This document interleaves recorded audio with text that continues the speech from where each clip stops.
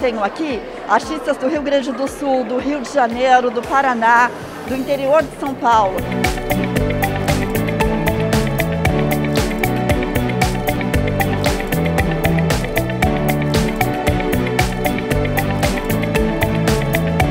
Para mim sempre foi um, um marco a Semana 22 e receber uma homenagem como artista é muito importante. Estou muito grata.